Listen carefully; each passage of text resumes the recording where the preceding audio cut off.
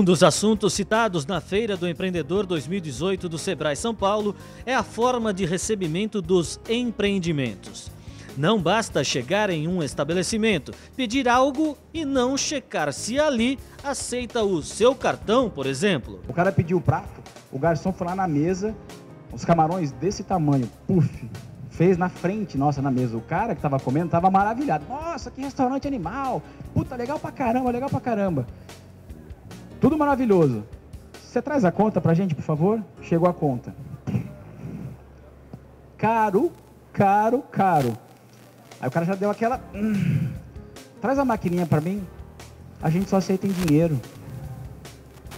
O stand Tendências em Meios de Recebimento ressalta esse e vários outros assuntos para quem quer se atualizar nesse mercado. Sem receber, bicho, ninguém sobrevive.